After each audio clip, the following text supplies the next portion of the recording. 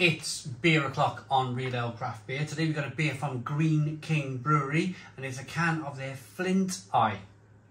Now, this is a dry hop lager. It's coming in at 4.5% ABV. I think I know, without reading the box, I think I know why they called this Flint Eye. I've been to the Bury St Edmunds Brewery. I stopped off at the train station and was picked up by Russ, the head brewer of Greene King. We walked through the town, but as we were walking through the town, we went through this park, and it was like ancient ruins in the grounds. And um, I believe, off the top of my head, because it was three years ago, it was Flint. I'm pretty sure they were a Flint ruin of some kind of cathedral or church or something. I think that's why they call it Flint Eye. We'll find out in a moment. Um, yeah, let's get this beer open out into a glass, see what we get. I picked this up in Sainsbury's.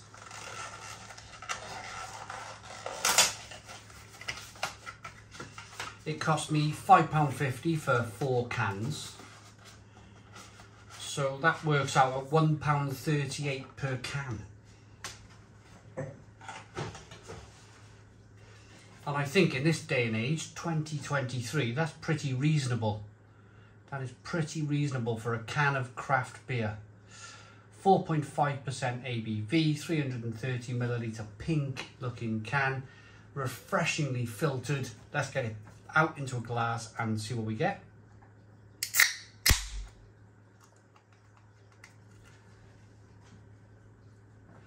Lovely. If you have the chance to go to Bury St Edmunds, go. It's it's a wonderful place.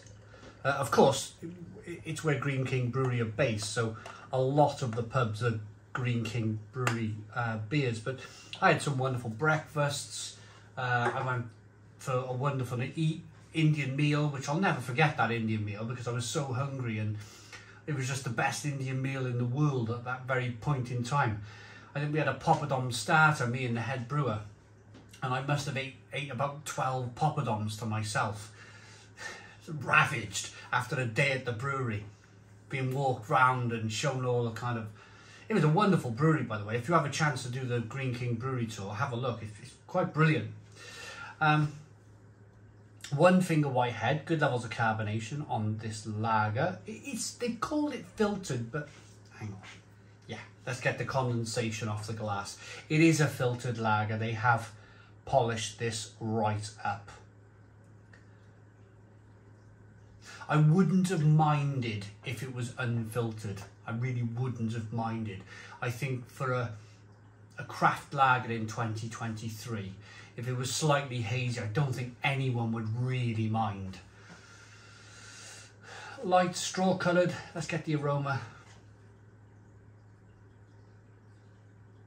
Smells pretty good though. Smells pretty good. It's got a combination of like a German Hallertau, Saaz, Czech Saaz, but then some new world stuff going on behind the scenes. It's it's a bit lemon like and a bit orange peel like.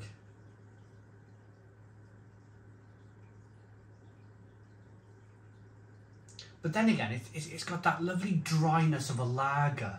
It's, got that lovely. I mean, I've not looked at the box. I'm not. I'm going to guess on Pilsner malt here. Yeah, so my hunch, my guess is they've used Pilsner malt. It's quite dry in the aroma. Spicy and peppery. It smells good. It smells really good. Let's dive in. Cheers, everybody.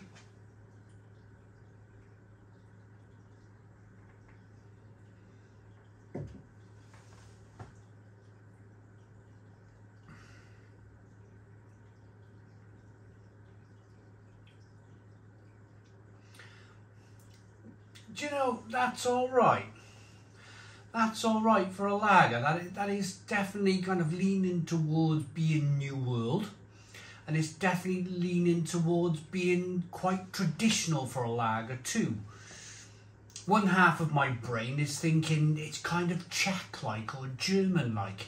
And then there's another half of my brain that's going, yeah, there's some lemon, there's some orange peel coming through. It's a bit peppery and spicy. It's quite nice actually. My only now, whilst I was at the brewery three years ago, I didn't see any lagering facilities at the brewery. Um, I've been to other lager breweries since. I've fallen in love with lager over the last two or three years, and I've made myself very aware of lager, and I've tried to kind of like visit lager breweries. So, I've been to Budweiser Budvar last year. I went to Moor Beer Company where they got some horizontal fermenters. And this is the key, see. Um, what I noticed at the at the lager breweries that set up to produce lager is that everything's horizontal. They had horizontal fermenters to, to, to produce the lager. Lager seems to like being horizontally fermented. Um, ask the technical brewers why, or if you're a technical brewer, maybe you would like to leave a comment down below. Um, I do know, but I forget. I get told every time I go to visit a lager brewery why the fermenters are horizontal, and then give it a few months and it's gone. It's just piddled out my other ear.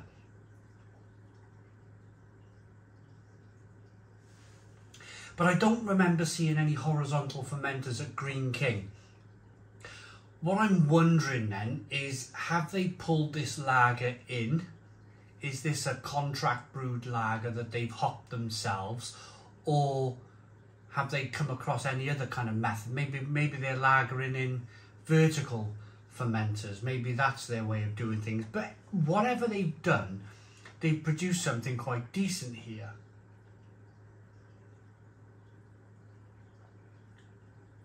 It's crisp it's dry drinkable now this is the third beer I've had from Greene King in the last month. I had the old Master Hen, which was a boxed version of Old Speckled Hen. It's about 7% ABV. That was wonderful, a really lovely beer. I just finished reviewing the Level Head Session IPA.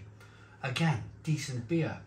And their lager, their craft lager here is They've not called it a craft lager, they've called it a dry hop lager. But it's very good. It's very crisp. Like I, I look forward to. Sometimes when I'm forced to buy these boxed beers, I think, oh, when am I going to drink the other three cans? I'm not really fussed on. Let's look at this one for argument's sake. I know there's probably going to be a struggle for me to drink the other three cans when I review Brewdog's Neon Dream. Um, I'm not going to write Brewdog off, but um, I'm not. I'm not a massive fan of their beers these days, and I think it's going to be. I'd rather buy the one can of that, whereas I bought four cans of this Flint Eye, and I quite happily tuck away the other three beers. It's that. It's it's pretty, pretty decent. So, a uh, description on the can then. As every scholar knows, the East Anglian soil is rich with relics of the past. This crisp dry hop lager is our tribute to the Stone Age master craftsmen whose razor sharp flint tip arrowheads are still turned up by farmers' ploughs today. Right, okay. The kettle hops are Tettnanger, German. The whirlpool are Styrian Goldings, that's British. The dry hop is Saaz and Mandarina Bavaria, which are German hops. I, I mentioned an orange flavour in, the, in, in this lager. That's definitely coming from the Mandarina Bavaria. It's lovely. The malt, I want to know the malt. I want to know the malt. Lager malt, so maybe Pilsner malt then. It's good. Very, very good. For £1.38 a can, I think that's a 9 out of 10. 9 out of 10 from Real Ale Craft Beer. Please put your comments in the comments box, subscribe to our daily beer and food reviews, give us a big fat thumbs up. Boom, cheers.